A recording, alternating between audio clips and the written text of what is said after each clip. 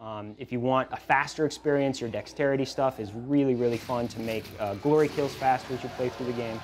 Um, and you know, D Doom has always kind of been this uh, this escalation of, of guns and demons. So you just you kind of take one step on the ladder, and then the demons take one step up, and Yeah. then you take one step up. And uh, so we've done that through the, the collection of guns, but also the, the finding of mods, um, and and then the, the, the progression through through upgrades.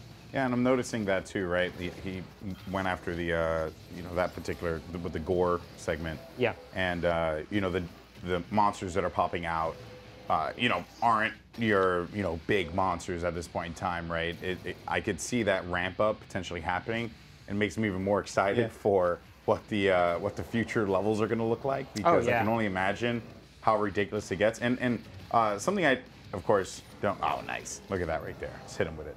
Uh, so uh, something I did want to know is about maybe see there the potential uh, Yeah. new demons and new monsters. Is that like something we could see, or are you guys sticking to the core?